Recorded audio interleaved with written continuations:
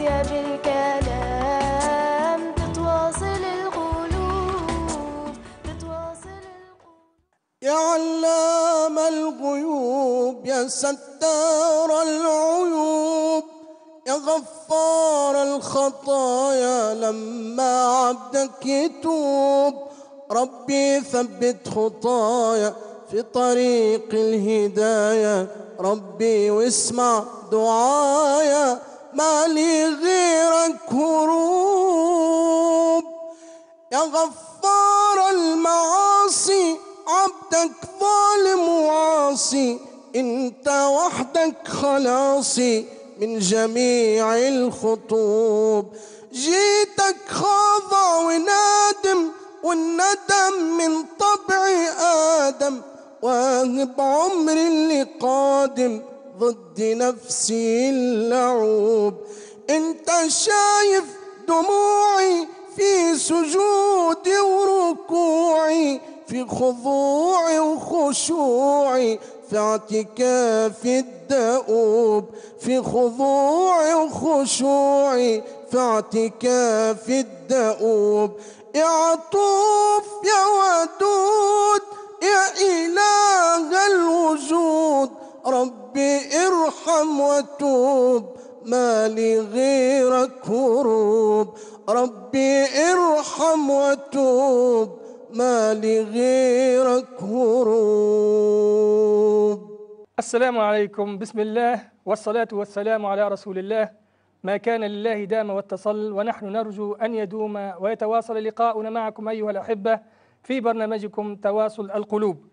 حلقة اليوم هي الحلقة الأربعون من برنامج تواصل القلوب والحمد لله رب العالمين. رب وفقنا في أربعين حلقة في إعداد وتقديم هذه البرامج التي القصد منها هي مواصلة قلوب المسلمين بعضهم ببعض في كل الظروف في البيع والشراء في المعهد في الطرقات في قيادة السيارات في في أحلامهم كيف تتواصل قلوبهم. شفتوا الحلقات اللي عملناها الكل.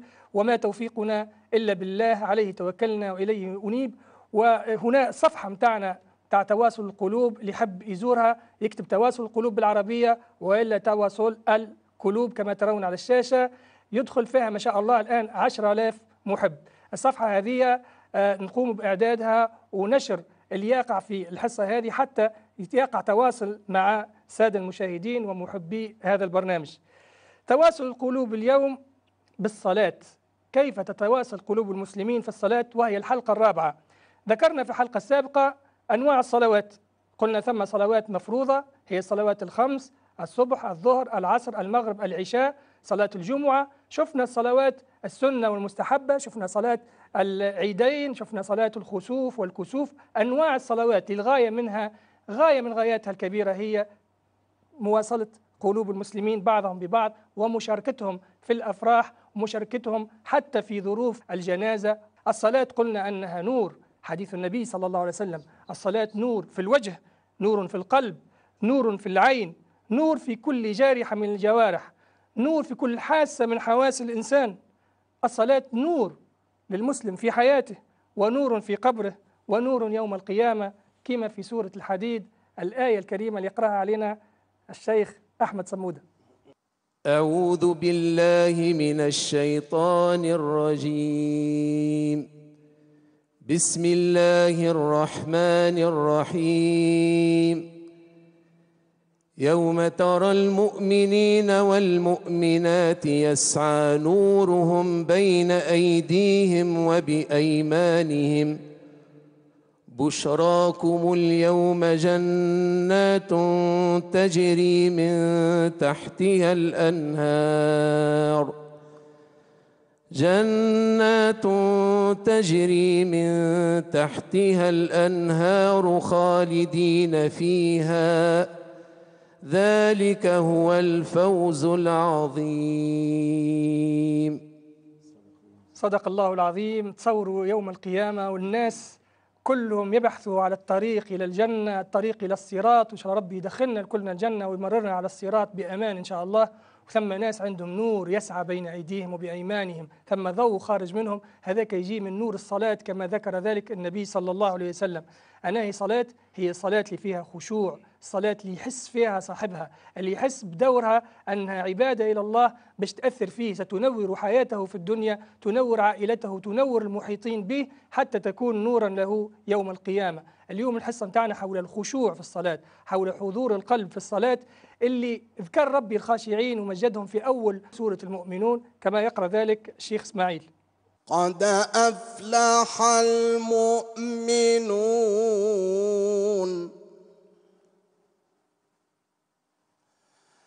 الذين هم في صلاتهم خاشعون.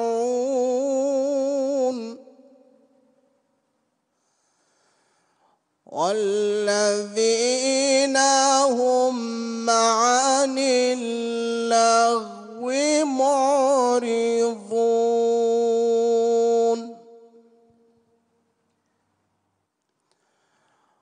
والذين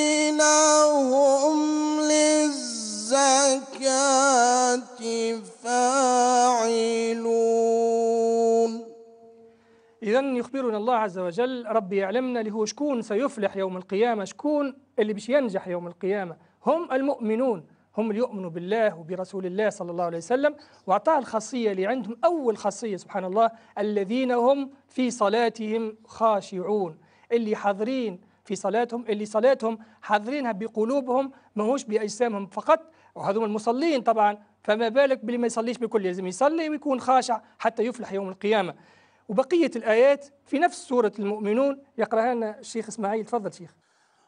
والذين هم على صلواتهم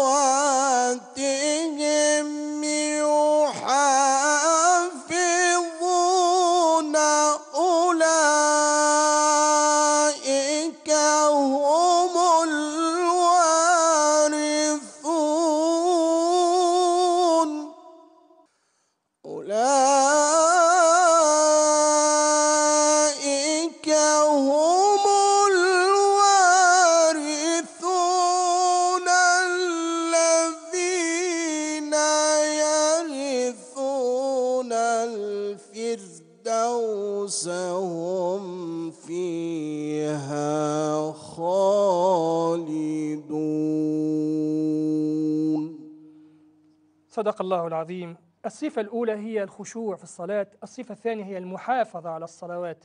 ريت إنسان عنده كنز إنسان عنده ذهب إنسان عنده حاجة عندها قيمة يحافظ عليها. هكذا ذكر الله عز وجل الإنسان اللي يصلي حق الصلاة أنه يحافظ والذين هم على صلاتهم أو على صلواتهم يحافظون. شنو أعطاهم ربي؟ أعطاهم أنهم يورثوا الفردوس. تولي متاعهم الفردوس الفردوس اللي هي أعلى الجنة يدخلهم ربي لها لأنهم خاشعون في صلاتهم ولأنهم يحافظون على صلواتهم. فما حديث للنبي صلى الله عليه وسلم أن واحد من الصحابة معروف الحديث اسمه حديث المسيء في صلاته إنسان أساء في صلاته. دخل واحد من الصحابة إلى المسجد النبوي إن شاء الله ربي يرزقنا ليه زيارة إن شاء الله كل عام. فكان النبي صلى الله عليه وسلم جالس في في المسجد وهو دخل صلى ركعتين وجاء وجلس قرب النبي صلى الله عليه وسلم فكلمه رسول الله قال اذهب فصلي فإنك لم تصلي. الراجل مشى ورجع صلى ركعتين وعاود جاء مرة أخرى للنبي صلى الله عليه وسلم قال اذهب فصلي فإنك لم تصلي. مشى مرة أخرى صلى ركعتين ورجع يجلس للنبي صلى الله عليه وسلم قال اذهب فصلي فإنك لم تصلي. فقال الصحابي والله لا أحسن غير هذا فعلمني. قالوا يا رسول الله راني هذاكش النجم؟ هذاكش نعرف؟ فقال النبي صلى الله عليه وسلم إذا قمت إلى الصلاة فكبر. نعرف هذه ندخل للصلاة الله أكبر من كل شيء. الله أكبر. ندخل في صلاتي ونخشع ثم اقرأ ما تيسر معك من القرآن. ثم اركع حتى تطمئن راكعا. ثم ارفع حتى تطمئن أو حتى تعتدل قائما. ثم اسجد حتى تطمئن ساجدا. ثم اجلس حتى تطمئن جالسا. وافعل ذلك في صلاتك كلها. فأعطاه النبي صلى الله عليه وسلم السر متاع الصلاة اللي هي الطمأنينة الاعتدال زاد قال حتى تعتدل. معناها ما يعملش الانسان الرفعه من الركوع كستر رفعة وإنما يرتفع كامل وقت يركع يركع كامل. معناها الفقهاء يقولون لو تحط كاس ماء على ظهر الإنسان الراكع ما يطيحش لازم يكون راكع بالضبط زاوية قائمة كما يقولوا جماعة الهندسة. كذلك السجود لأن الإنسان يسجد ويرتاح هو في السجود فيعمل هذا وإذا به القلب يتبع هذه الجوارح اللي تتحرك بطمأنينة. الصلاة المطلوب فيها ما هيش صلي فقط وإنما أقم الصلاة. القرآن كله ما يذكرش الصلاة إلا بالإقامة. يقول وأقيموا الصلاة وآتوا الزكاة واركعوا مع الراكعين. إن الذين آمنوا وعملوا الصالحات وأقاموا الصلاة وآتوا الزكاة. كل ثم صلاة ثم معها أقام أقام معناها كما يقيم الإنسان البنيان يعملها مستوية الصلاة يعملها في حقها. أما الذين يقيمون الصلاة فلهم أجرهم عند ربهم ولا خوف عليهم ولا هم يحزنون. أقام يعني أتم يعني أكمل. كيف ما تقيم أي حاجة في الحياة؟ تحب تقوم حاجة كانت معوجة تقومها أقمتها. الصلاة إذا ما تكون مستوية وكاملة. أقيموا الصلاة يعني أحسنوا الصلاة يعني اخشعوا في الصلاة يعني أدوها بأتم وأحسن ما تملكون. ثم آية في سورة فاطر يقرأ لنا هدايا الشيخ مراد. تفضل مراد. بسم الله الرحمن الرحيم. إن الذين يتلون كتاب الله وأقاموا الصلاة وأقاموا الصلاة وأنفقوا مما رزقناهم وأنفقوا مما رزقناهم سرا وعلانية سرا وعلانية يرجون تجارة لن تبور. صدق الله العظيم. البشارة هنا أن إن الذين يتلون كتاب الله وأقاموا الصلاة وأنفقوا مما رزقناهم سرا وعلانية. ثلاثة حاجات يعملهم الإنسان ينال بهم تجارة لن تبور يدخلهم ربي إلى جنة النعيم إن شاء الله. آية أخرى تفيد معاني الخشوع. ربي يقول واستعينوا بالصبر والصلاة. يا مسلم يا إنسان بصفة عامة باش تستعين على متاعب الحياة باش تستعين على المشاكل على التفكير على التخمام على الخوف من المستقبل على الخوف من المجهول. باش تستعين على ظلم الناس أحيانا باش تستعين أحيانا على قلة النصيب الذي أوتيت في الدنيا تستعين بالصبر والصلاة. واستعينوا بالصبر والصلاة وإنها لكبيرة. وإنها لكبيرة إلا على الخاشعين. مش يصلي فقط يصلي وخاشع. تولي وقتها صحيح تولي المعاني كبيرة والنتيجة إن شاء الله كبيرة وإنها لكبيرة إلا على الخاشعين. الخشوع في الصلاة مش الناس كل تخشع قليل من الناس يخشعون. هل الناس كل يخشعوا في صلاتهم؟ مش صحيح. أقل الناس هم اللي يخشعون في الصلاة. معظم الناس ما يخشعش. معظم الناس ممكن كما يقول الحديث بتاع النبي صلى الله عليه وسلم إنسان ينصرف من صلاته ولم يتقبل إلا ربعها ولا ثمنها شيء قليل منها تقبل الآخر كله هو ساهي فيه. باش نعرف وقت نراو إنسان هو يصلي باش نعرفوه خاشع ولا مش خاشع. بسم الله الرحمن الرحيم. الكمال لله ساعة هذه أول حاجة. آه، ثاني حاجة شنو هما الحاجات كي نشوفوا غيرنا قاعد يصلي نحسوا اللي هو ماهوش مركز في الصلاة نتاعو أول حاجة ثم الالتفات. تحسوا يلتفت ساعات لليمين ساعات يلتفت للشمال ساعات تتعدى حاجة هكا يمشي معها ال- الحاجة الثانية هو تحسه ماهوش يصلي ب- بطمأنينة ولا بسكينة. معناها تحس الحركة نتاعو فيها شوية سرعة هكا فهمت؟ وقت اللي في, في الركوع يركع فيسع فيسع. في الرفع من الركوع كيف كيف زاد فهمت؟ تحس ثم سكينة. بارك الله فيك. ثماش آه، علامات أخرى. مراد. بسم الله الرحمن الرحيم. زيادة على ما قاله ال- الأخ أحمد آه، ثم بعض الناس في عندما يقوموا بصلاة معناها سواء تحية المسجد أو صلوات الأخرى آه، ثم شكون يسلم عليه؟ معناها واحد هو يصلي في تحية المسجد ويصلي عليه ويرد عليه بالتحية. وهذا من الطرائف ال- الغير محبوبة. بارك الله فيك. آه ثم علامات أخرى أيضا منها مثلا التثاؤب. معناها هو العطاس من الرحمن في حديث النبي صلى الله عليه وسلم والتثاؤب من الشيطان. فإذا عطس أحدكم فليحمد الله وقت يعطس يقول الحمد لله. أما إذا تثاءب الإنسان فليمسكها ما استطاع. ما يخليش التثويبة هذيك تخرج. بعض الناس يصلي ويتثاءب ويخرج في في التثئيبه ويحرك في يديه. بعض الناس يحك شعره بعض الناس يحك أنفه. هذه كلها علامات تدل على إنسان ما هوش خاشع في الصلاة. أنت تلفت إلى الله ما عادش تلفت حتى جهة أخرى. يا رسول الله ما تقول في الالتفات في الصلاة؟ كان واحد يتلفت. فقال النبي صلى الله عليه وسلم ذلك اختلاس يختلسه الشيطان من صلاة العبد. يتسمى اختلس وسرق من صلاته وقت اللي يتلفت. وكما قال زاد رسولنا صلى الله عليه وسلم إن أسوأ الناس سرقة الذي يسرق من صلاته. فقيل له كيف يا رسول الله؟ قال لا يتم ركوعها ولا سجودها. ماهوش يتم في الركوع يزرب معناها دوب ما يركع ويهز طول. يلزم يركع ويقول سبحان ربي العظيم وبحمده ثلاث مرات بكل خشوع وخضوع وفهم للمعاني هذه. ما يلزمش يسرقها طول ويرفع من السجدة أو من الركعة. ليس للرجل من صلاته إلا ما عقل منها. صليت صلاة كملت أربع ركعات مثلا وقمت. شنو تتفكر منها؟ الصلاة كان تسأله باش صليت شنو هم ال- الصور اللي صليت بهم؟ انساهم. كان وصل نسى الصور يعني ما عاشش الصلاة هذه. راهو ما يتقبل من الصلاة إلا التي عقلت وفهمتها وتدبرتها. ما كانش الآخر كل رك ممكن أسقطت الفرض معناها ما عادش مطالب بالفرض هذاك ولكن ما عندكش الأجر التام إلى الذي يعطى للمقيم الصلاة.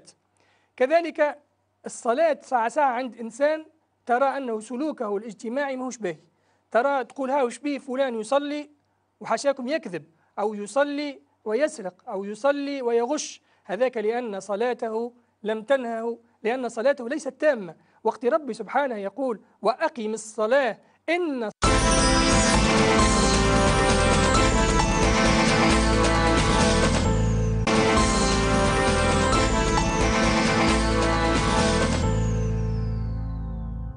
إن الصلاة تنهى عن الفحشاء والمنكر. راهو كون واثق أنه صدق الله ومن أصدق من الله قيلا كان ربي قال حاجة راهي صحيحة. ربي قال راهي الصلاة تنهى عن الفحشاء والمنكر ولكن شوفوا الكلمة وأقم الصلاة. آه، كانها قائمة في وقتها وخشوعها وخضوعها راهي ذيك تنهى صاحبها عن الفحشاء والمنكر. أما كنت راه مازال في المنكر وهو يصلي فإن صلاته ليست قائمة. أبو هريرة صحابي النبي صلى الله عليه وسلم يقول إن الرجل ليبلغ من العمر ستين سنة وربما ليس في صحيفته إلا صلاة أسبوع. تصوروا ستين عام ويصلي. وقت يجي يتحاسب يجد صلاة متاع جمعة واحدة. أسبوع واحد لا يتم ركوعها ولا سجودها. الإمام أحمد بن حنبل رضي الله عنه عنده كلمة يقول يأتي على الناس زمان يصلون وهم لا يصلون وإني لأخشى أن يكون زماني هو هذا الزمان. تصوروا معناها وقت أحمد بن حنبل يقول لي هو زماننا هذا يرى الناس يصلي وما يصليش فما بالك بزماننا هذا؟ تفضل سيدي أحمد. آه، حبيت في بسم الله الرحمن الرحيم حبيت في السياق هذه هذه حاجة أنا عشتها. كنت وقتها في مجلس قرآن وأذن ال- الأذان نتاع المغرب معناها جاب وقت المغرب. آه، قام كان معنا معناها شيخ قام صلى بنا صلاة المغرب. بعد قعدنا إحنا نسبحوا هو قام قام وصلى ركعتين نافلة. كي صلى ركعتين نافلة من غير ما نشعر قاعد نسبح ونغزر شفت ركع ركوع. بالنسبة لي أنا جاتني كي عليه كي حسيت روحي اللي أنا عمري ما ركعت. تصديق لقولك شيخ رفيق حسيت روحي اللي أنا عمري ما ركعت. علاش؟ وفي ليلتها من غير تشويق في ليلتها روحت للدار قعدت نعاود كان في الركوع برك باش نعاود نجيب الركوع اللي ريته متاع الشيخ. لطوله ولا لإقامته ولا؟ في حاجتين اللي أنا معناها فقت بهم هكا ولا استشعرتهم. اللي وقت اللي ركع حسيته اللي هو راكع بين يدي الله. سبحان الله. هذه أول حاجة. ثاني حاجة وقت اللي ركع حسيت في الركوع نتاعو ثم خضوع. ف- سر سر هذايا لا يعلمه إلا الله. هذا سبحان الله الصدمة اللي بالنسبة لي أنا كما تحكي أنت قعدت تقولش عليه معناها عمري كامل ما- مانيش قاعد نصلي. سبحان الله. سبحان الله. آه، هذا يدفعني باش نحكي تجربة وقعت لي أيضا مشيت المنزل أحد الشيوخ ومن حسن ولطفه وأدبه وتواضعه قدمني قال لي صلي بي. فصليت بي بما استطعت. أنا كملت الصلاة فالتفت وإذا بالدموع هابطه مع اللحية. فاستحييت من نفسي. قلت سبحان الله ثم ناس خشعت في صلاتي وقراءتي وأنا لم أبلغ معشار الخشوع نتاعو أمثلة للخاشعين. أنا حبيت نحكي عن الناس كيفاش يخشعوا. فجانا المثال هذايا من سيد أحمد. وأعطيتكم هذا المثال للشيخ هذايا. إن شاء الله يشوف فينا وإن شاء الله ربي يتقبل منه ومنا ويهدينا إلى الصلاة الكاملة ذات الخشوع والخضوع.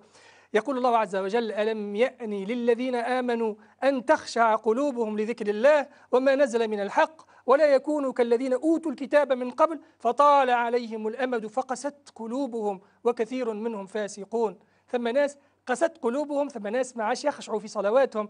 علاش؟ لأنه طال عليهم الوقت يلزم. تو نشوفوا إن شاء الله بعد أمور عملية للخشوع. عندنا مثال للخاشعين في قصص السابقين ثم واحد اسمه العباد ابن بشر. كان يصلي الليل وهو مكلف بالحراسة في غزوة من غزوات المسلمين. فواحد من الأعداء من بعيد قا يشوف فيه وتلفت لصاحبه قال له تشوف فيك غاديك بالله هذاك هل ترى مسلم من المسلمين واقف غادي ولا جذع نخلة؟ بداوا يتعاركوا. واحد يقول راهو نخلة. الآخر يقول لا. راهو يظهر لي هي الدنيا ظلام وليل. قال يظهر لي راهو مسلم هذاك هات نجربه خذا السهم وأعطاه رمية نبل. فالنبل وقع على الصحابي بشار آه، على عباد بن بشر وقع عليه السهم وما تحركش من بلاصته. ما تحركش من بقعته. قال له ريتش كيفاش؟ قلت لك راهو نخلة. هات نعاودوا واحدة أخرى. عاودوا سهم آخر وأعطاه ضربة مرة أخرى بنبل وكيف كيف ما تحركش. هذه القصة اللي يرويها المشرك وقت اللي يرويها العباد ابن بشر قال لم يلبث العدو أن رماني بسهم آخر فوقع على كتفي فنزعته وأكملت الصلاة. فأعاد الرجل المر الكرة مرة ثالثة ووقع السهم في نفس المكان. قال فإذا بأنهي صلاتي كملت وسلمت. فالصحابي اللي معاه قال لما لم تقذني؟ وقت شاف الدم خارج من كتفه. قال لما لم توقظني من أول سهم رميت به؟ فقال كنت أقرأ سورة من القرآن. فكرهت أن أقطعها. نقرأ في سورة كيش نقطعها وبرج في سهم. ولأن أكمل ركعتين أحب إلي من خروج روحي. شوفوا إحساس هذا الصالح بصلاته. علاش قال البصيري؟ كأنهم في ظهور الخيل نبت رباء كأنهم شجرة. كأنهم في ظهور الخيل نبت رباء من شدة الحزم لا من شدة الحزم. ربي سبحانه يقول لو أنزلنا هذا القرآن على جبل لرأيته خاشعا متصدعا من خشية الله. القرآن يمكن ينزل ربي على جبل راهو تصدع راهو ترشق. ينزل على المؤمن يسره حتى لا نتفجر. ربي ولقد يسرنا القرآن للذكر فهل من مدكر؟ وقت يسروا علينا يلزمنا على الأقل نعمل شوية مجهود حتى نفهم هذا القرآن. حديث عائشة رضي الله عنها قامت مرة في الليل والدنيا كانت ظلمة لا عندهم لا أضواء كاشفة ولا عندهم آه، سهارة بحذاهم وإنما عندهم سبحان الله نور ربي ينور البيوت. قالت قمت من الليل فالتمست رسول الله صلى الله عليه وسلم. شوف فيه وينه؟ قالت فوضعت يدي على قدمه تلقاه ساجد. قالت فانتظرت وانتظرت وانتظرت فظننت أنه قضي. مشي في بالها توفى النبي صلى الله عليه وسلم. إلا أنه من بعد قام رسول الله صلى الله عليه وسلم وجلس وقت كمل الصلاة. قالت يا رسول الله أشفقت على رسول الله. أولم يغفر لك الله ما تقدم من ذنبك وما تأخر؟ قال أفلا أكون عبدا شكورا؟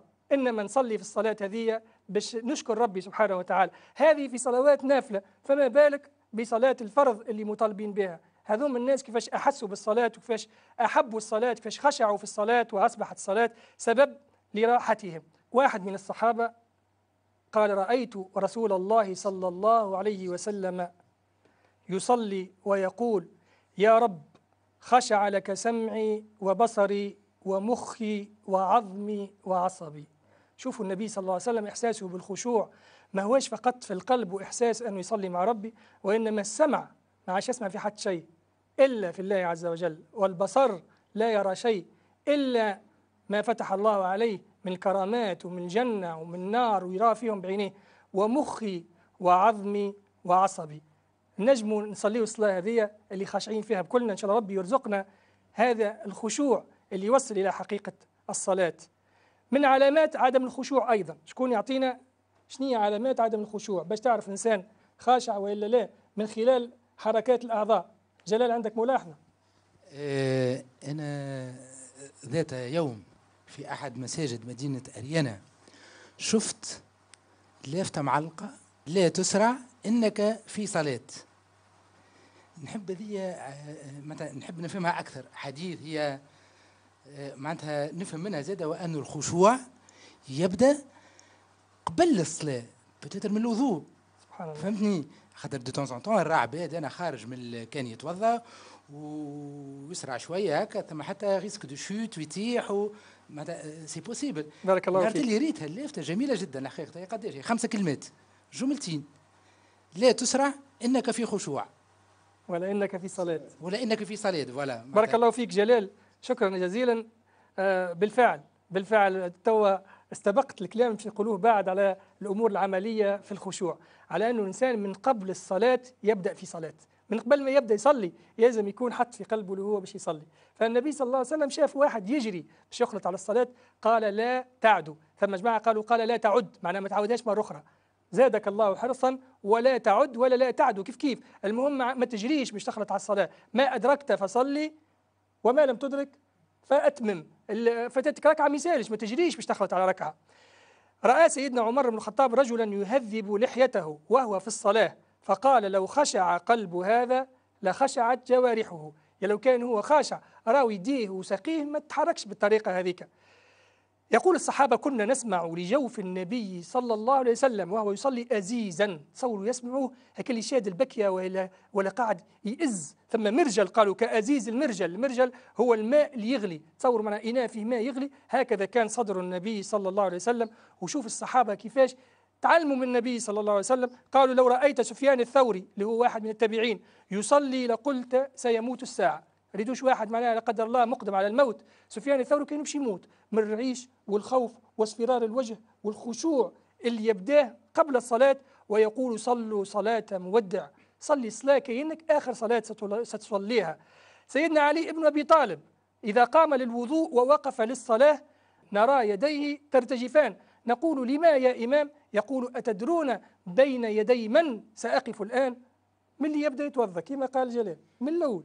هو يتوضأ يولي يحضر في روحه للصلاة باش يمشي يقابل ربي سبحان الله. كان واحد يجي يستدعاه من قصر الرئيس ولا استدعاء من سلطان ولا من ملك لما قبل أسبوع هو يحضر هذا استدعاء من رب العزة اجى وصلي وقت يقول الله أكبر الله أكبر المؤذن حي على الصلاة حي هيا تعالى إلى الفلاح. من وقتها تحضر روحك تقول باش نقابل ربي.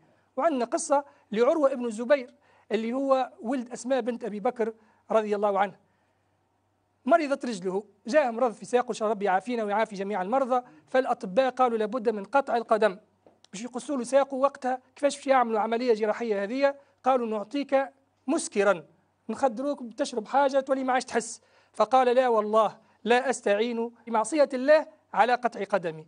قالوا نعطيك مخدر. قال لا أحب أن يسلب عضو من أعضائي وأنا لا أحس بحلاوة بحلاوة أجره. لأنه يعرف لأنه كل شيء ينحيه ربي من إنسان أراك عندك عليه أجر. فقالوا نأتي بالرجال يمسكونك. نشدوك باش ما تتحركش. وقت ينقصوا في العضو هذايا قال أنا أكفيكم هذا. نعطيكم طريقة. هاني تو باش تصلي ركعتين. خلوني مع ربي. سبحانه. وقتي نسجد. وقت أعمل اللي تحبه. وبالفعل هو سجد وهم جابوا المنشار جاء طبيب وبدأ ينحي فيها اللحمة هذه. الله يعافينا إن شاء الله. بدأ ينحي فيها وهو يسمع فيه يقول لا إله إلا الله سبحان الله الحمد لله لا إله إلا الله. كان يحس ولكن قوة الخشوع تخليه ما لم يفرق ولم يجزع لذلك. ثم قالوا وقت اللي شفنا الدم خرج برشا شدوا ماء يغلي ووضعوه بالطرق اللي عندهم وقتها في الطب وضعوه على الجرح وقتها من كثرة السخانة نتاع الماء فقد وعيه رضي الله عنه وأرضاه. ثم مثال آخر هذا نجم نطبقوه حاتم الأصم قالوا له كيف تخشع في الصلاة؟ أسمعوك كيفاش يخشع قال أدخل في الصلاة وكأن الكعبة بين عيني. عندنا صورة إن شاء الله. شوفوها كيفاش. تحط الكعبة قدامك. حتى كان أنت ماكش في الكعبة. إن شاء الله ربي يرزقنا زيارة للكعبة. قولوا آمين. قولوا آمين. هذيك تزيد خشوع. راهو الصلاة في في المسجد الحرام بمئات ألف صلاة. معناها اللي يصلي صلاة الظهر مثلا في الكعبة. عبارة صلى مئة ألف ظهر. حسبوها الناس قالوا أكثر من خمسين سنة صلوات. تصوروا معناها. أكثر من خمسين عام وتصلي ربي إن شاء الله يرزقنا مالا برشا مرات. إن شاء الله باش نجد هذا في كتبنا. حاتم الأصم قالوا له كيف تخشع في الصلاة؟ قال أدخل في الصلاة وكأن الكعبة بين عيني وكأن الصراط اللي, في اللي محطوط على النار باش تعداو عليه وكأن الصراط تحت قدمي وكأن الجنة عن يميني وكأن النار عن شمالي وملك الموت أمامي ورسول الله يتأمل صلاتي ويبتسم إلي ثم أكبر تعظيما. الله أكبر عظمة لله سبحانه. ثم أقرأ تدبرا ونقرأ ونحس. ثم أركع بتواضع. ثم أسجد بمذلة. وأقول هذا آخر يوم أصلي فيه. نقول آه هذه آخر الإسلام ممكن إن شاء الله تكون باهية. وأجمع الخوف من غضب الله والطمع والرجاء في الرحمة. ثم أسلم وأقول أقبلت صلاتي أم لا. زعم ربي تقبل مني وما تقبلش. عشان ربي يتقبل منا صلواتنا. وهذاك علاش ثم بعد الناس ما تكمل الصلاة تسمعون في المسجد يستغفرون. إنسان بعد يكمل الطاعة يستغفر لعل فيها نقص. ربي يتقبل صلواتنا ونحن عندنا فاصل. تبقى قلوبنا أثناءه معكم. تتواصل. توبة من الذنوب تتفرج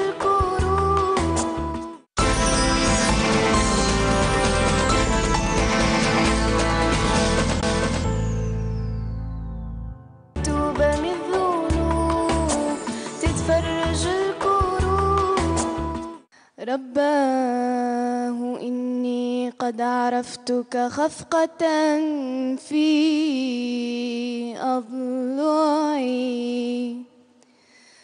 وهتفت باسمك يا له لحنا يرن بمسمعي. أنا من يذوب تحرقا بالشوق دون توجعي. قد فاض كأسي بالأسى. حتى سئمت تجرعي. يا يا يا رب يا تسبيحتي. في مسجدي أو مهجعي. يا يا يا رب يا رب إني ضارع. أفلا قبلت تضرعي؟ إن لم تكن لي في أسى فمن يكون. إذا معي. يا رب يا رب في جوف الليالي كم ندمت وكم بكيت.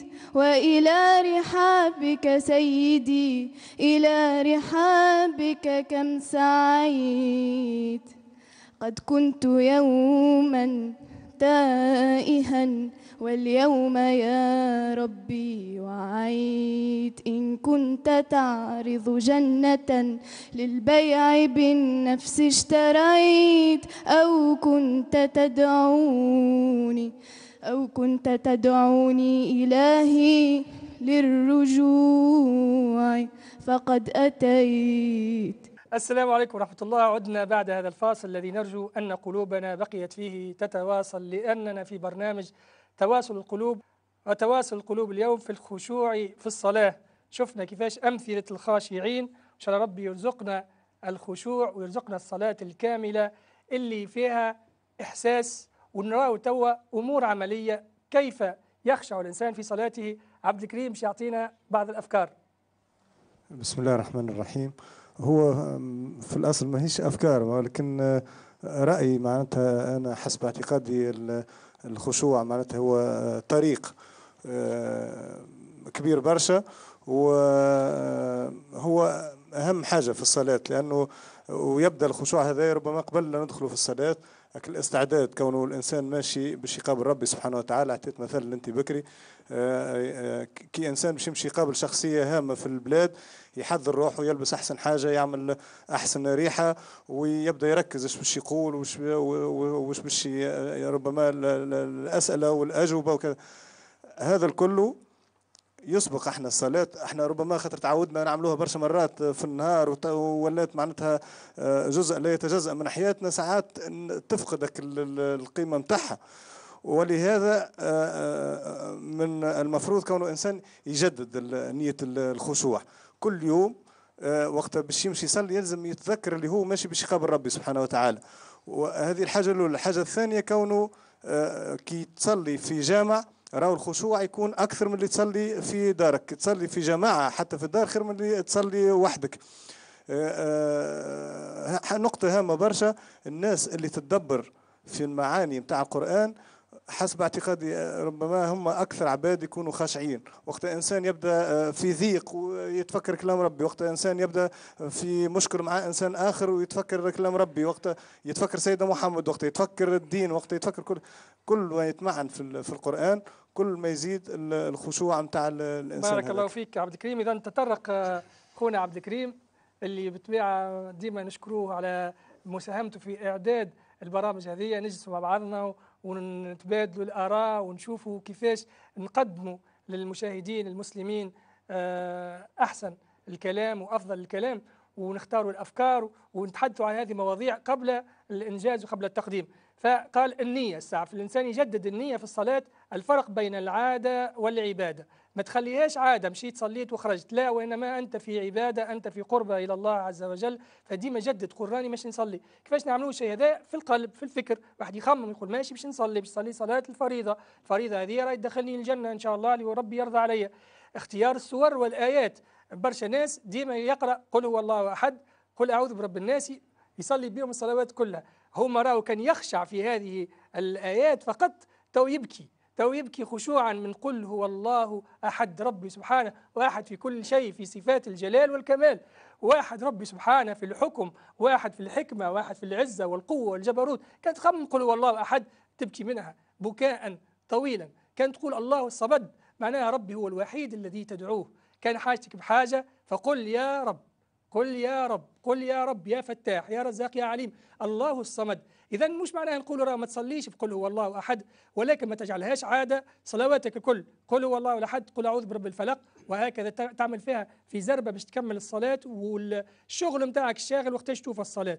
لا راهي جهاد اختار الآيات نوع السور احفظ قرآن جديد احفظ سورة جديدة وصلي بها راه هذاك يزيدك في الخشوع. ثم ذكر عبد الكريم ربي يبارك فيه الذهاب إلى المسجد هي الصلاة في المسجد تزيد على صلاة الإنسان في بيته 27 درجة. تحس روحك وأنت ماشي أنك باش تكسب 27 أجر مضاعف لأنك صليت في المسجد.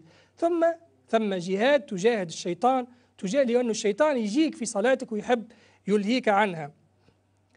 النبي صلى الله عليه وسلم قال جعلت قرة عيني في الصلاة. اجعل راحتك. قرة العين جاية القر جاي من البرد. يعني العين تولي باردة بالصلاة.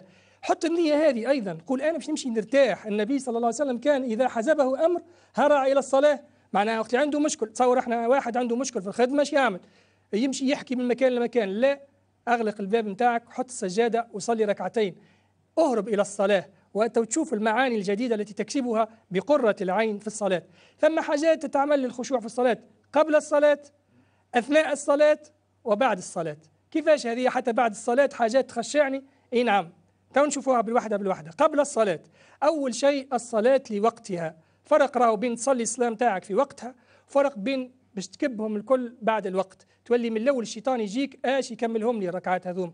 يلزمك تصلي الصلاة في وقتها وذيك داخلة في الإقامة في أول الوقت. لأنه الشيطان يجيك يقول لك هاو الظهر أذن توا. زيد شوية ما يسالش راهو تنجم تاخرها حتى يوصل لها العصر. هذا الساعة الوقت. ثم الطهور الوضوء وحده يخشع كما شفنا سيدنا علي ابن أبي طالب. ثم حاجة أخرى هي قضاء الحاجات قبل الصلاة. كان عندك قضية أكيدة أكيدة أعملها قبل الصلاة. النبي صلى الله عليه وسلم قال إذا حضر العشاء والعشاء قال فسبقوا العشاء. معناها كان عندك آه، فسبقوا العشاء معناها الماكلة. على الصلاة ما يمتليش الماكلة قدامك والإنسان يصلي ويشتهي ويفكر زعما شنو هي الماكلة بالضبط وش فيها. نردوا بالنا هنا أنه كول مثالش وبعد صلي. وإلا الإنسان يجي يصلي والنبي صلى الله عليه وسلم ذكرها هذه انه الإنسان يولي مش يستحق باش يمشي إلى قضاء الحاجة في بيت الحمام باش يدخل دورة المياه. فالمستحسن أن يقضي حاجته يتوضأ وضوء جديد ما يبخلش على الوضوء ويمشي يصلي. هذيك النبي صلى الله عليه وسلم نهى عن صلاة الحقب والحقن اللي هو المحصور. ما يصليش هو محصور راه ما ينجمش يصلي. ثم مسألة أخرى مثلا امرأة في الدار عندها حاجة على النار. تمشي تصلي وهي تخاف لو كان يتحرق الطعام لو كان تصير مشكل. فالمستحسن أن الحاجات الأكيدة أكيدة تعملها قبل الصلاة. إذا بعد باش تدخل في الصلاة ثم أشياء تعملها أثناء الصلاة الآن. محل النظر نتاعك ما تحطش قدامك تلفزة ما تحطش بحذاك راديو يمشي مذياع باش تسمع أخبار ولا تسمع مقابلة رياضية ولا وإنما أخلي أذنك من كل سمع أعمل كما عمل النبي صلى الله عليه وسلم خشع لك سمعي. سمع الكل موجه إلى هذه الصلاة. أثناء الصلاة إذا تدبر ثم حاجات بعد الصلاة. شنو هي بعد الصلاة؟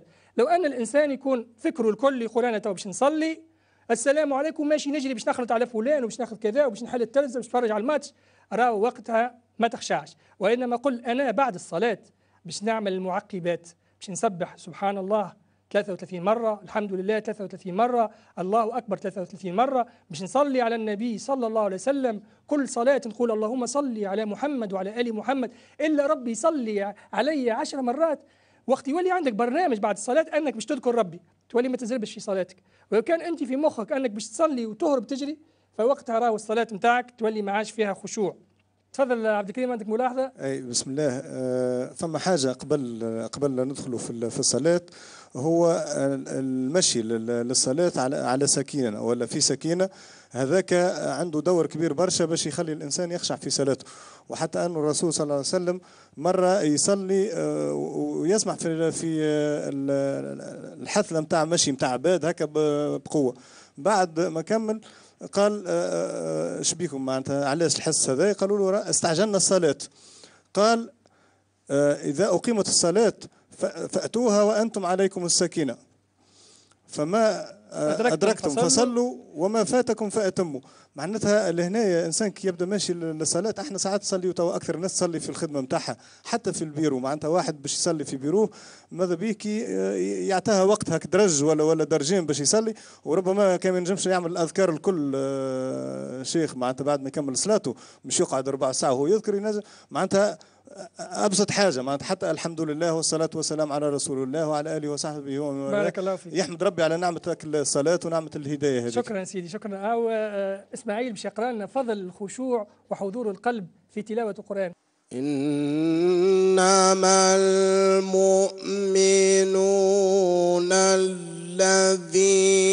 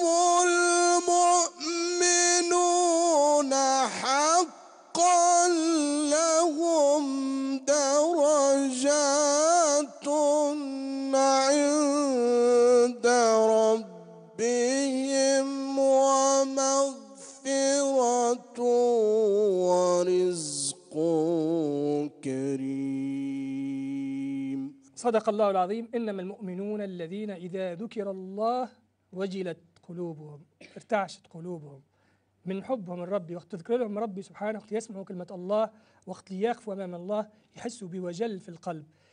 باش ربي سبحانه يبشرهم أنهم عندهم درجات عند ربهم. لأن الناس يوم القيامة درجات كما في الدنيا درجات الآخرة درجات ثم ناس في وسط الجنة ثم ناس في ربض الجنة ثم ناس في أعلى الجنة. لماذا؟ لأنهم هذوما عندهم درجاتهم في الدنيا يرقاوا في العبادة يختاروا ديما أرقى عبادة أرقى صلاة فيها إقامة فيها خشوع. مش هذه صليته برا وإنما يخشع في صلاته. سيد أحمد عندك ملاحظة على أمور تطبيقية وعملية في الخشوع في الصلاة؟ أول حاجة حبيت نذكر بها اللي كونه الصلاة أول حاجة باش الإنسان يتحاسب عليها يوم القيامة. باهي. الحاجة الثانية ماذا بينا الناس الكل اللي تصلي تجتهد للوصول إلى الخشوع. إيش معناها هذا؟ معناها وقت اللي الإنسان في الحياة يحب ولده ينجح يعمل له cours particulier يهزو كما يقولوا إحنا باش يعمل حصص آه، تدارك. معناها حصص إضافية باش يزيد يتقوى في المادة هذيك. الرياضي يقوم كما نقولوا إحنا بالتمرينات الأسبوعية وغيره وغيره وغيره وغيره والأمثال كثيرة.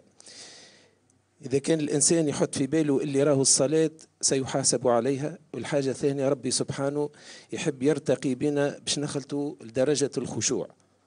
ولهذا ماذا بينا كل إنسان كل إنسان يحاول يجتهد ويبحث ويعمل حاجات تطبيقية بالنوافل وبقيام الليل ويحاول باش يصلح صلاته. كيفاش يخلط باش كما نقولوا إحنا على عشر مرات يصلي يخشع المرة الأولى مرة من بعد يولي يخشع مرتين وهو عمال يحسن وعمال يجتهد. ولهذا هوني تذكير كل إنسان منا كل إنسان لو ربي إيش أعطاه يحاول باش يطلب ربي سبحانه باش ييسر له الأمور ويعلمه باش يخلط يحسن صلاته بارك الله باش. يحاول يخلط الخشوع. توا باش نمشي سامحني سي رفيق باش نتعدى الحاجة عملية. لو كان نلاحظوا على رواحنا نقولوا وقتاش نخشعوا وندبروا ونوصلوا حتى نبكيوا وقتاش؟ هذا لاحظوه الأكثرية في الدعاء. وقت اللي نقف وراء إمام ويبدأ الإمام معناه يعمل في الدعاء وإلا واحد بيده قاعد يعمل في الدعاء يحس روحه اللي هو يخشع ويبكي. علاش؟ على خاطر بك الدعاء عمال يقدم عمال يقدم عمال يقدم حتى لين يولي يحس في روحه قاعد يخاطب في المولى والمولى يخاطب فيه فيخشع ويبكي. الصلاة كيف كيف؟ الصلاة وقت اللي واحد باش يبدأ يصلي يلزمه يستشعر ويجتهد في الحضور باش يستشعر اللي هو بين يدي الله. تتولي الفاتحة تخرج بسم الله ما شاء الله والركوع والسجود والله أكبر والقرآن الكل سبحان الله يتبع بعضه. بارك سمح. الله فيك سيدي أحمد. نعم ال- الحلم بالتحلم قال النبي صلى الله عليه وسلم. الحلم هو انه إنسان مثلا ماهوش وين إنسان يعمل لك حاجة خايبة ترجع عليه بالخايبة. ثم ناس يقول لا أنا طبيعتي يا خويا راني عندي شعر سيدنا علي مش عارف منين جابوها راني ضد فيسع. هو المرة الأولى شد روحك حاجة ماهيش على عادتك. المرة الثانية تولي عادة يا سيدي. معناها كل شيء يجي بالتعود الحلم بالتحلم والعلم بالتعلم. كذلك الخشوع في الصلاة أراه بالرياضة إنسان يعمل تمارين. هات إحنا نبدأ بأمور عملية. أسمع حديث النبي صلى الله عليه وسلم. إذا قام الرجل فتوضأ فمضمض. لازم تولي تحس لأنك تمضمض تو. خرجت خرجت الخطايا من فمه حتى تخرج من تحت لسانه. فإذا غسل الوجه خرجت الخطايا من وجهه حتى تخرج من تحت أشفار عينيه. فإذا غسل يديه تخرج الخطايا من يديه حتى تخرج من تحت أظافر يديه. يلزمك تحس بهذا في الوضوء تو وقت توضأ المرة الجاية أبدأ من بعد إن شاء الله وقت تجي الصلاة القادمة وأنت تتوضأ أبدأ حس كيفاش الخطايا والذنوب قاعدة هابطة منك تو تحس بخشوع آخر. أسمع حديث النبي صلى الله عليه وسلم من توضأ فأحسن الوضوء. ثم قال أشهد أن لا إله إلا الله وحده لا شريك له وأن محمدا عبده ورسوله.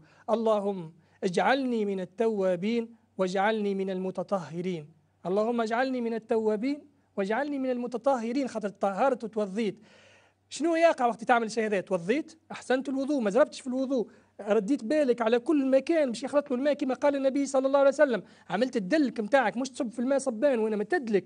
وأنت خاشع وتعرف علاش تتطهر لأنك ستقف بين يدي الله كملت الوضوء. قل أشهد أن لا إله إلا الله وحده لا شريك له وأشهد أن محمدا عبده ورسوله. اللهم اجعلني من التوابين واجعلني من المتطهرين. فتحت له ثمانية أبواب الجنة يدخل من أيها شاء. الجنة حلت لك أبوابها بمجرد الوضوء. فإذا هذا مهم جدا. من الوضوء يبدأ التمرين على الخشوع. الآن حركات الصلاة. كل حركة تقوم بها في الصلاة عندها قيمة. أول حاجة الساعة أنت ستلتفت إلى القبلة. يلزم جسمك وقلبك قلبك يحاس لي أنت تورك باش تصلي. ما هوش كيما باش تكتب حاجة في ورقة مش كيما باش تجلس في مكتب تحكي مع إنسان ما يهمكش في القبلة.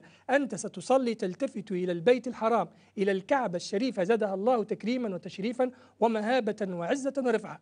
لازم تحس بالعظمة نتاع الكعبة وهي أمامك وتحس إنه قلبك أيضا ملتفت إلى هناك.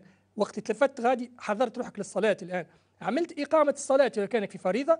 تعمل الله أكبر الله أكبر وإلا كانك وراء الامام باش تسمع المؤذن يقيم الصلاة ومن بعد تقول الله أكبر. شوفوا الحركة مع الصوت. وقت تقول الله أكبر حسيت ربي أكبر من العمل وربي أكبر من القضية اللي تقضيها من بعد وربي أكبر من الأرض وربي أكبر من المال وأكبر من أي حاجة تخطر في بالك.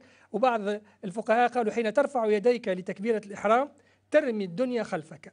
عملت هكا طيشت الدنيا كل. وبعد حييت هكا ووضعت يديك في وضعية الصلاة وأنت بين يد الله. ثم من بعد ذلك باش تدخل في الصلاة تفكر في المعاني وأنت واقف تفكر نهار الحساب. ربي باش يوقفك. كل إنسان سيقف بين يدي الله للحساب فردا. لا معاه أخوه لا معاه محامي لا معاه لجنة لا معاه وحدك ستقف وتحاسب. فحس روحك أنك وحدك مقابل ربي وهو يكلم فيك بدون ترجمان كما قال النبي صلى الله عليه وسلم يكلم فيك ويحاسب فيك ويسرك. شنو يسرك؟ ما يضحكش أمام الناس. اللهم لا تفضحنا يوم العرض عليك. وإنما يسرك يقول لك شنو عملت ذنوب وأنت تولي وجهك يحمار من هذا الذنب. حس روحك واقف أمام الله وهو يسرك بذنوبك. تحس بخشوع آخر. من بعد وقت تقرا القرآن أشعر أنه كلام الله. راهو كلام ربي هذاك مش كلام عبد مش كلام فيلسوف ولا مؤلف ولا شاعر. هذاك كلام خالق الأكوان. اللي تتفجر منها الجبال كما رينا بكري فتحس أنه كلام ربي سبحانه وأنت تكلمه به ثم بعد حس بالركوع. كما قال بكري سيد أحمد أول مرة نحس روحي ركعت وقت ريت هذا الشيخ وهو راكع. حس بالركوع أن الركوع لله وحده أنك وقت تهبط راسك لله وحده أنك مستقيم أمام الله ومستقيم في ركوعك أمام الله لا ترفع رأسك أمام أحكام الله. حس بالشيء هذا وبعد حس أن ربي أعطاك منحة وأعطاك إذن أن ترفع هامتك أمامه مرة أخرى رفعت من الركوع. بعد حس بالمذلة لله اللي ترفعك على الخلق كلهم. وقت تسجد لله اقتربت فاسجد واقترب. حس روحك أنك سجدت بين يدي الله واسمح لك أن تسجد بين يديه وقبلك معه في الس... مع الساجدين والراكعين. حس وأنت ساجد أنك بين يدي الله. اقتربت من الله فاسأل ما شئت. سر هذايا باش تحب تخشع ولا؟ أعمل مثلا هي مثلا صلاة الصبح فيها أربع سجدات. قول نعمل الدعاء في السجدة الأولى. ندعي باش ربي يغفر لي ذنوبي. الدعاء في السجدة الثانية ندعي باش ربي إن شاء الله يا ربي يوسع علينا في القبر. إن شاء الله ما يعذبناش عذاب القبر. ادعي في السجدة الثالثة للوالدين. مش ما تنساش فضل الوالدين عليك. ادعي لأمك وأبيك. وكان تعمل دعاء في كل سجدة تولي تطول في السجود. سر كبير في الخشوع. طول في السجود وما تزربش. تفضل سيدي بسم الله الرحمن الرحيم. بالنسبة للسجود آه، جيت فترة كما يقولوا وقت اللي نسجد ما نجمش نقعد برشا ما نحس الدم يهبط في للراس ونحس في روحي معناها ما نلقاش الأريحية باش نعمل باش نعمل الدعاء. بعد عملت؟ خذيت آه، تمرين معناها. بديت نحاول باش نلقى كيفية التنفس وأنا ساجد باش نجم نقعد ال maximum. وقعدت نتمرن نتمرن نتمرن حتى لين ربي سبحانه فهمت؟ يسر لي الأمور. معناها وليت حتى وقت اللي نسجد في الدار وحدي فهمت؟ عندي الأريحية باش نجم نقعد حتى دقيقة ودقيقتين وثلاثة سبحان الله. نعم الحمد لله. سر كبير. اذا تفضل إسماعيل تفضل. تو كل واحد من من منظور الخاص تحدثت عن الخشوع. الخشوع أنا نراه الإنسان يبدأ مع عائلته يكون مطيع سواء لزوجته يعدل بين أبنائه ولو في القبلة يحضر لهم قوتهم. البرة زادة في الشارع يكون ضحاك. ما يكونش عبوس يكون آه، معاملاته مع العباد كالمسلم الصادق الصدوق باش كي يتوجه للمسجد أو في بيته باش يلقى الخشوع. كان أعماله البر يقدر مفرعسه يعطيك الصحة. الخشوع حتى باش يتصنع فيه. وجزاك الله خيرا بالفعل. معناها الشيخ إسماعيل يقول لو كان الانسان يعمل في الذنوب والمعاصي بعد يقف أمام الله ويطلب ربي باش يعطيك نافلة الخشوع، الخشوع راهي هدية من عند ربي سبحانه يقرب بها عبده، لو كان تعمل في الذنوب كيفاش بعد تحب تخشع؟ كان الانسان قبل الصلاة كان يكذب، كان يخادع، كان يظلم، كان يظلم في زوجته، كان يخرج في كلمة بذيئة، كان يغتاب الناس، فكيفاش تحبوا بعد يخشع؟ يلزم يكون ينقي روحه ويتوب على الأقل قبل الصلاة يعلنها توبة مع الله وتوضأ فنزلت ذنوبه ثم بعد يقدم على الله فيخشع الحركات بتاع الصلاة لازم يحسها الإنسان الكلمات بتاع الصلاة. صلاة التراويح وصلاة النوافل تقوي في الإيمان وتقوي في الخشوع. وقت اللي باش تصلي أربع ركعات بتاع الظهر وتحس أنك ماكش تخشع صلي ركعتين قبلهم صلي النافلة خاطر النافلة تقول هذه نعم فيها طواعية فيجيك الخشوع بعد تخشع في صلاتك. ثم واحد وقت يصلي التراويح الإمام يولي يقرأ وهو يبكي. سألوه قالوا له بيك تبكي؟ قال أنا راه تعرفوا علاش نبكي. سمعت الناس يبكيوا فقلت بيني أنا ما نبكيش. أنا ما دامني ما نبكيش أنا راني بيا وعليا وناقص. هات نبكي على روحي لأني لا أستطيع أن أبكي. شوف الإنسان معناه يبكي خاطر الناس بكاو وهو ما بكاش يبكي على نفسه لأنه لم يخشع. فالإنسان في صلاة التراويح وصلوات النوافل مهمة جدا هذه. الله أكبر يحس الإنسان في الحركات. سمع الله لمن حمده. يحس سمع الله. يحس بها. أنه ربي يسمع في الحمد متاعك. ويحس بالفاتحة. سورة الفاتحة ما ثم حديث يقول الله عز وجل في حديث قدسي قسمت الصلاة بيني وبين عبدي قسمين. فإذا قال العبد الحمد لله رب العالمين قال الله حمدني عبدي. ثم واحد من الصحابة كان وقت يصلي يقول الحمد لله رب العالمين ويسكت. وبعد يقول الرحمن الرحيم ويسكت. قالوا إيش بيك تتكلم وتسكت؟ قال راهو نعرف حديث النبي صلى الله عليه وسلم ربي باش يجاوبني نولي نسمع في ربي يجاوب فيا نحس بربي يجاوب فيا وقت يقول أنا نقول الحمد لله رب العالمين وهو يقول حمدني عبدي. وإذا قال العبد الرحمن الرحيم يقول الله تعالى أثنى علي عبدي. وإذا قال العبد ملكي يوم الدين حسها. حس لي هو في الدنيا الملوك والقوانين والتشريع والخصومات والاختلافات حتى شيء راي أمام حكم رب العالمين يوم القيامة وقت ربي هو اللي يحكم بين العباد هو الملك. يقول أنا الملك يوم القيامة. يقول لمن الملك اليوم؟ لله الواحد القهار. فتحس اللي هو ملك يوم الدين معناها يوم الحساب. ثم إذا قال العبد إياك نعبد وإياك نستعين إلى آخر السورة يقول الله تبارك وتعالى هذا بيني وبين عبدي. ما هو إياك نعبد وإياك نستعين. كتاب كامل اسمه إياك نعبد وإياك نستعين. يقول كيفاش العبادة تجيب الإعانة من عند ربي. تعبد ربي راهو يعاونك. تستعين إلا بالله. حاجتك بحاجة اسأل الله راهو هو اللي باش يعاونك. شوف الصلاة شوف الفاتحة تحسها تولي. إياك نعبد مع بعضنا. علاش؟ مش إياك أعبد إياك نعبد. راني أنا وإخوتي. فإذا أتيت وإخوتي فافتح لنا من كل باب. تحس أنه معاك إخوتك. تصليوا مع بعضكم إلى الله. إياك نعبد وإياك نستعين. ترجع لنا من عندك العون والتأييد والنصرة. يقول الله تبارك وتعالى هذا بيني وبين عبدي ولعبدي ما سأل اسأل تحب. وقتها تسأل أنت.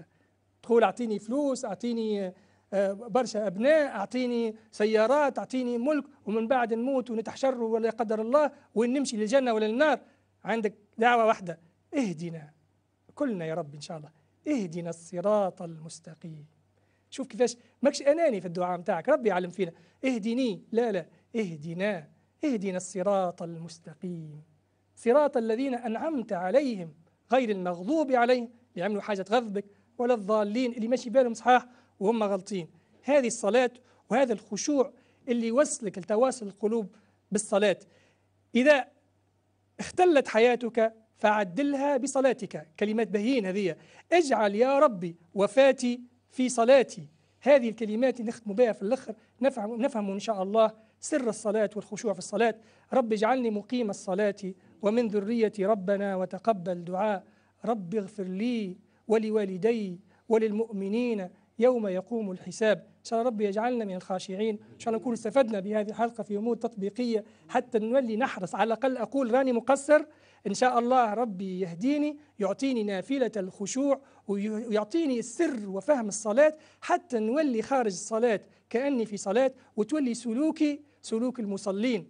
ما تنساوش باش تزورونا في صفحة تواصل القلوب وتعطونا فيها مقترحاتكم للحلقات القادمة. أعطونا آرائكم في الحلقات السابقة وهي أحسن طريقة للتواصل بيننا إن شاء الله. دمتم في حفظ الله.